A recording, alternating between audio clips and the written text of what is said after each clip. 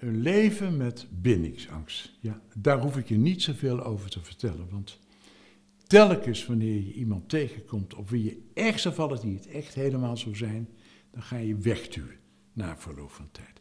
En, en, en ja, en dan begin je weer aan een relatie of je gaat met enige regelmaat vreemd.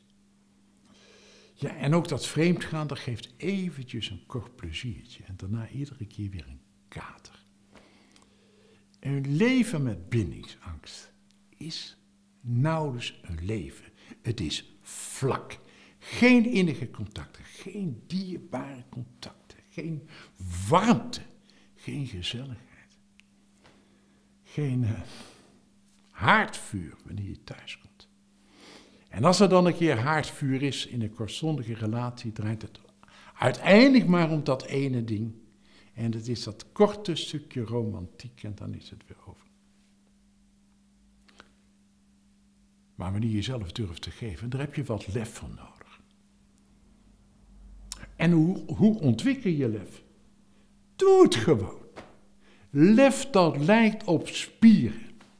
Wil je spierkracht krijgen, dan ga je naar de sportschool en je gaat jezelf trainen. En als je vaak genoeg traint, dan krijg je stevige spieren. Lef.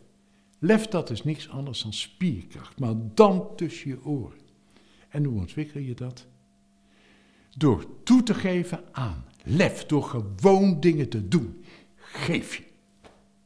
En natuurlijk loop je het risico dat er een relatie misgaat. Dat kan makkelijk in deze tijd.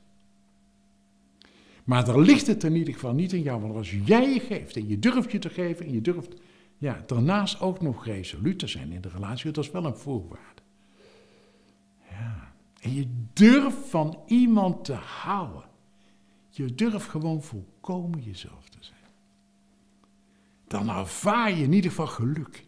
Dan ervaar je warmte. Dan ervaar je een warme deken. Waar je ontzettend veel meer van wilt. Want dat is leven, die warme deken. Dan geluk is er vaak. Maar dat beetje genoegdoening, af en toe, als je bindingsangst hebt, ah, dat, dat, dat is het niet. Ontwikkel lef. En, en, en, en zorg er wel voor. Zorg er wel voor dat je, dat je dat type zoekt. Dat je met dat type een afspraak maakt waarvan je weet, diep in mijn hart is dat ook inderdaad mijn type. In plaats van dat je kiest voor een makkie, om dat zomaar even uit te drukken. Want, ja, als het misgaat, dan doet het niet zo pijn. Ga voor het allerbeste. Ontwikkel lef. En je gaat iedere dag meer lef krijgen, maar uiteindelijk een gelukkig